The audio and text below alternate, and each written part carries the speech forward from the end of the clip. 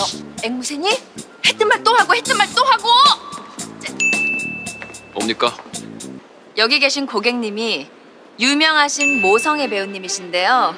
무료로 업그레이드 해드리면 호텔 홍보해 주신다고 하셔서 규정 외 사항이라고 설명드리던 중입니다. 경력이 7년인데 이런 진상 고객 하나 처리 못해요?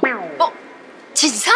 국민 엄마라는 사람이 돈도 안 내고 좋은 방에서 자겠다고 행패 부리는데 그런 게 도둑놈 심보라고 왜 말을 못해? 보안 불러서 쫓아내. 디럭스룸 시티뷰로 한 객실 예약하신 거 맞으시죠? 네 맞아요.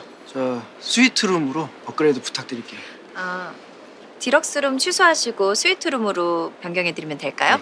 그게 아니고 국민 엄마 모성애 선생님께서 오늘 특별히 여기 묵어 드린다니까 저 스위트룸으로 업그레이드 좀 부탁할게요. 죄송합니다, 고객님. 규정상 스위트룸으로 업그레이드는 불가능합니다. 어, 나와봐. 나 알지? 네, 안녕하세요. 특별히 내 별그램에 후기 올려줄게. 스위트룸 좀. 특별히 신경 써주셔서 정말 감사합니다. 근데 규정상 도와드릴 방법이 없어서요. 혹시 와인 좋아하시면 간단한 스낵과 함께 와인과 칵테일, 맥주 등을 제공하는 라운지 이용권은 어떠실까요? 너 내 팔로우가 몇인 줄 알아? 내 말 한마디면 여기 장사 접어야 돼. 정말 죄송합니다. 너 진짜 맑게 못 알아먹는구나. 지배인 불러. 지배인 나오라 그래. 지금 자리에 안 계셔서요. 지배인 없으면 다른 책임자라도 있을 거 아니야. 내가 뭐 엄청난 걸 요구해? 지배인이랑 얘기 좀 하겠다는데 네가 뭔데 말을 안 들어? 어, 저 모성애 배우 아니에요? 계셔서요. 제가 체크인 담당자입니다. 저한테 말씀하시면 돼요. 너 앵무새니? 했던 말 또 하고 했던 말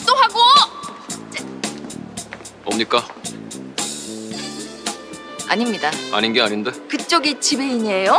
아니요. 그럼 뭔데 끼어들어? 이 호텔은 지배인도 없어? 뭐냐고 묻잖아요. 디럭스룸을 예약하셨는데 스위트룸으로 업그레이드 요청하셔서요. 추가 금액 받고 해드리면 되잖아요. 그게 아니라 여기 계신 고객님이 유명하신 모성애 배우님이신데요. 무료로 업그레이드 해드리면 호텔 홍보해 주신다고 하셔서 규정 외 사항이라고 설명드리던 중입니다. 국민 엄마 모성애 배우십니다. 여기 근무한 지 몇 년 됐어요? 7년 됐습니다. 경력이 7년인데 이런 진상 고객 하나 처리 못해요? 어?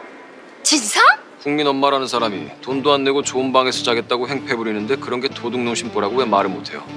보안 불러서 쫓아내요. 야, 야 너 뭐야? 너 누구야? 할 말 있으시면 보안 직원이랑 얘기하십시오.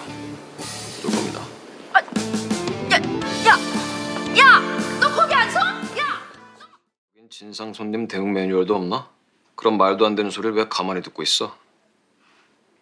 저희는 어떠한 순간에도 손님에게 항상 친절해야 합니다. 손님도 손님 나름이지. 웃으면서 할 말 다 하던 그 패기는 어디 가고? 저희가 잘못한 게 하나도 없더라도 최대한 고객님 심기 건드리지 않게 죄송하다고 사과하고 마음 풀어드리는 게 매뉴얼이에요. 그게 무슨 매뉴얼이야? 누가 그런 걸 만들어? 위에 계신 분들이 만드셨겠죠. 본부장님 같은 분들이요.